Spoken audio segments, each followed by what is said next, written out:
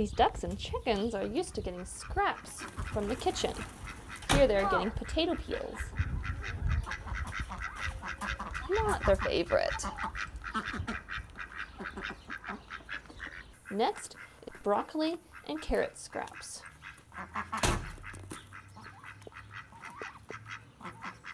They smell supper cooking and they wait patiently by the back porch. But when the scraps take a little bit too long, Oh, what, what was she doing? I think she wanted to come in and look for food. That scared me.